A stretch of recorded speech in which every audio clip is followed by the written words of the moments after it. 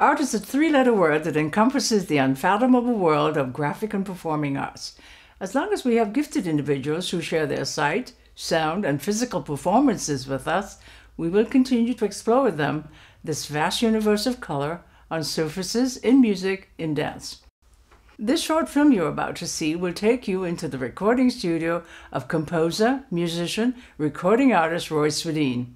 Have you ever wondered how it's done? Well, here's how in the studio.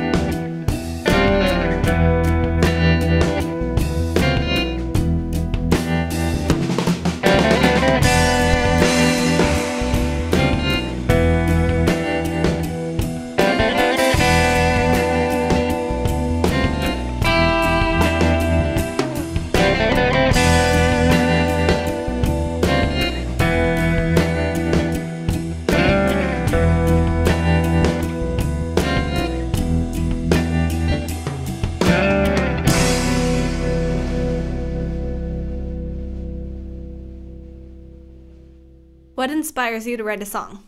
Inspiration comes from many places for me. Sometimes it's a sound, it's a drum beat, it's a chord. Um, in this particular case, Dreaming in Color, the inspiration definitely came from a ukulele uh, that was gifted to me from my family.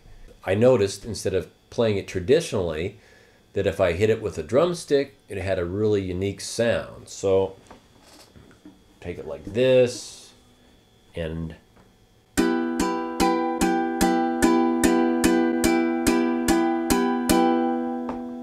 I thought, wow, that's really a cool sound. And that became the catalyst for the song, the heartbeat, the rhythm. So I took that and I recorded it onto its own track, along with a click track which keeps perfect time. So if I play to that, later on when I layer other instruments, I have something to play to since I'm the only musician in the room. Once I did that, I put guitar chords down on electric guitar to form the song. I then took another guitar and played the melody. Once that was finished, I'd go in and set up my drums. Now, recording string instruments is one thing because you take one or two mics to record them. Drums take eight microphones. So each individual drum gets its own microphone, and then I have two more microphones over the top of the drums and another one on the bottom of the snare drum, plus a room mic. So, total of eight drum mics, each going to its own track. As you notice in the video, I have headphones on while I'm playing the drums. This is so I can hear the previous tracks I recorded to play to. Once the drums are done, the bass goes on next, and then I take all these tracks and combine it together, and that's what you hear on your final CD. Here's what the individual tracks sound like, starting with the ukulele.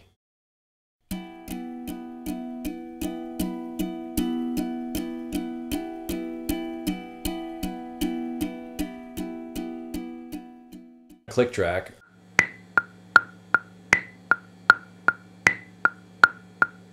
Then, of course, the rhythm guitar.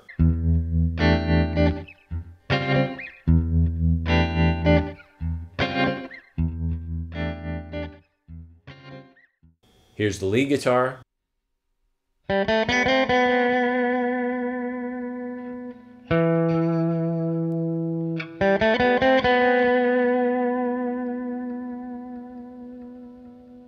Drums.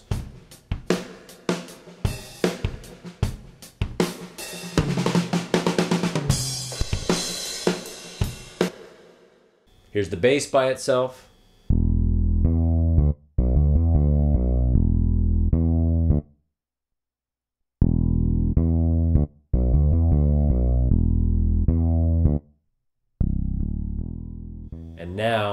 When you start pulling up one at a time, this is how it gets mixed together.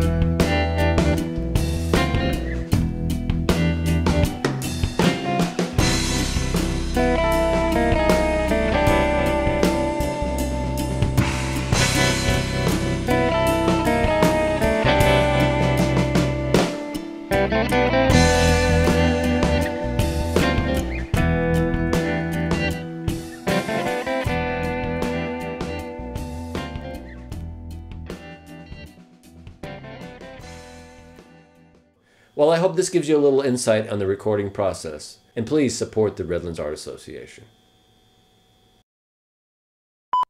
So that's that. I hope I explained it to you. No, that's stupid. Well, that's that. I hope I explained. Too enthusiastic, that part. Yeah, okay. You feel stupid saying that? Yeah, I do. I sound so stupid. Why don't you say something else then? I don't know. Cool, huh? what did you say? Say it to me again. I hope this gives you a little insight. Well, I hope this gives you a little better insight on the. Rec- well, I hope this gives you some. Not little better insight. Well, I hope that gives you some insight on the recording. Well, well, well. Okay, wait. Click. What, what, I forgot what I'm saying. Well, I hope this gives you a little insight to the recording Okay. process. Snappy. You keep forgetting. Well, I hope this gives you a better insight. Better. I hope this gives you better insight.